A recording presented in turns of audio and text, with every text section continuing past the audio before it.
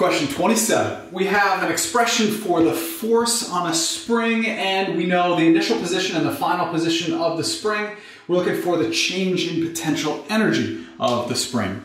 Again, we're going to use the equation for a conservative force that's not on the equation sheet.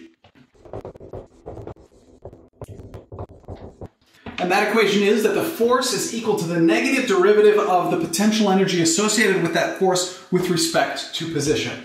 Now what we're going to do with that is we're actually going to rearrange it and use an integral. So we multiply by dx and then take the integral of both sides. So we take the integral uh, from an uh, initial potential energy to final potential energy on the left and from initial position to the final position on the right. And I've substituted in the equation for our force uh, as a function of position. So now we simply take the integral of both sides.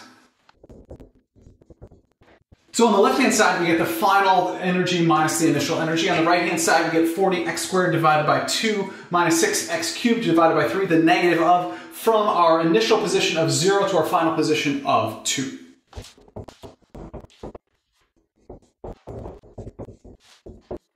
The final potential energy minus the initial potential energy works out to be the change in potential energy, which is what we're trying to find.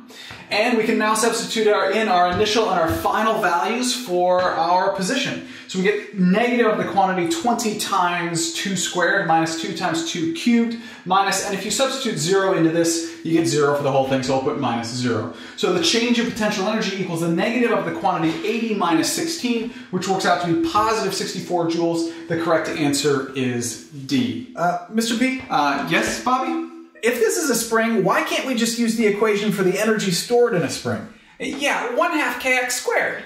Don't you mean 1 half times the spring constant times the displacement from equilibrium squared? oh, that's good. That's good stuff. Right.